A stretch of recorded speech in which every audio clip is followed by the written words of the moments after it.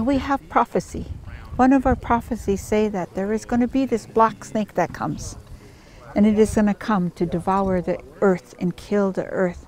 So we must stand in front of that black snake and stop it and save the world.